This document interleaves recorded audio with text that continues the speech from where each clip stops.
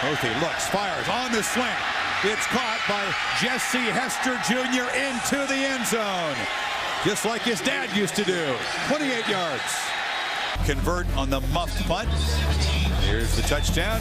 And there's what drew the flag from the Big East official.